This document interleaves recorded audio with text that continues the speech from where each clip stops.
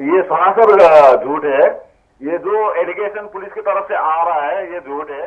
वो दार्जिलिंग डिस्ट्रिक्ट में है, लेकिन उनका पहले से ही एक तो वारंट था, इसलिए वो छुट्टी बैठा है। लेकिन, देखिए, जो कल राइटर्स ने बताया कि पुलिस रिपोर्ट के मुताबिक हम लोग को फंडिंग जो हो रहा है, नेपाल से हो रहा है और आर्म्स भी हो रहा है।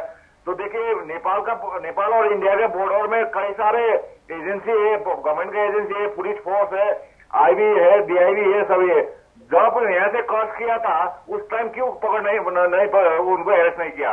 और ये सब है तो अरेस्ट करना चाहिए था ना? तो ये फैब्रिकेटेड एलिगेशन फॉल्स एलिगेशन लगा के हम लोग को बदनाम करके देखिए हम लोग को प्रूफ चाहिए कि हाँ हमारा लीडर को फंडिंग वहाँ से हो रहा है किसने किया है और कब वो ये बॉर्डर क्रॉस किया कब आ गया?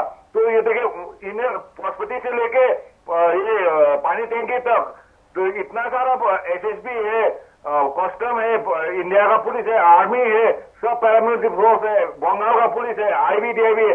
क्यों नहीं पकड़ा? अरेस्ट नहीं किया। देखिए, आज बोल रहा है कि अरुण सिंह जी आज घर में नहीं है तो लगा दिया कि वो नेपाल का गया। आज मैं, अगर मैं भी घर में नहीं होता, कि मेरे को भी लगा दिया मैं भी चला गया होता तो देखिए, ये गलत बात है। तो देखिए, इससे लगता है कि डिस्ट्रिक्ट का डीआईबी आईबी और एसआईबी का फेलियर है अभी।